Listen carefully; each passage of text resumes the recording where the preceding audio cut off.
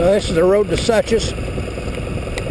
Uh, it's called Highway 180 or Georgia 180, and the name of the road is Wolf Pen Gap Road.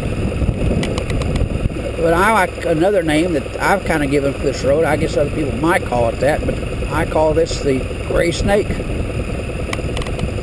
And if you watch how it curves around up here, I guess you'll know why I call it the Gray Snake. Anyway, enjoy the ride. inschaubab.